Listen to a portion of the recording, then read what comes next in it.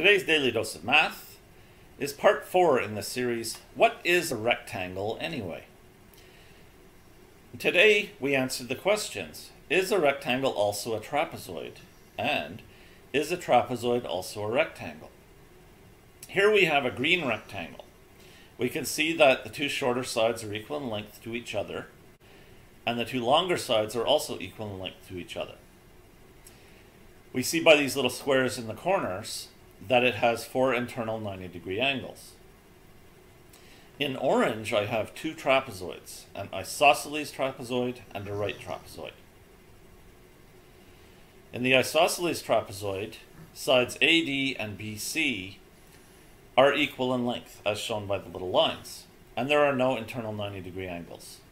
In the right trapezoid, none of the sides are shown as being equal in length, and there are two internal 90 degree angles.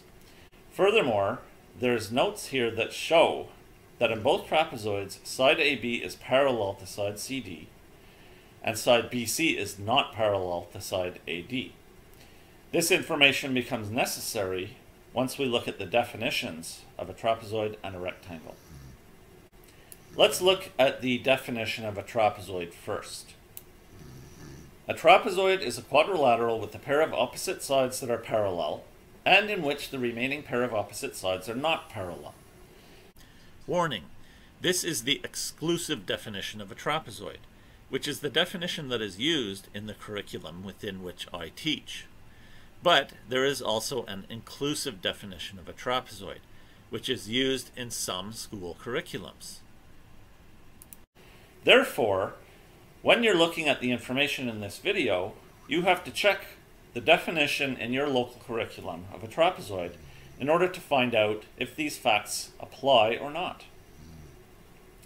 My rectangle does not qualify as a trapezoid by this definition because while it certainly has a pair of opposite sides that are parallel, the remaining pair of opposite sides will also be parallel. It cannot be a trapezoid. Now let's look at the definition of a rectangle. It is a quadrilateral that has two pairs of opposite congruent sides and at least one internal 90 degree angle. My isosceles trapezoid cannot be a rectangle because it only has one pair of opposite congruent sides and it does not have any internal 90 degree angles. My right trapezoid also cannot be a rectangle because although it does have at least one internal 90 degree angle, it does not have two pairs of opposite congruent sides. In fact, it cannot have two pairs of opposite congruent sides.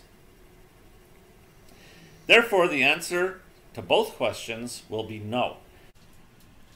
Using the exclusive definition of a trapezoid, a rectangle is not also a trapezoid, and a trapezoid is not also a rectangle. That is today's Daily Dose of Math. Please like, subscribe, and share.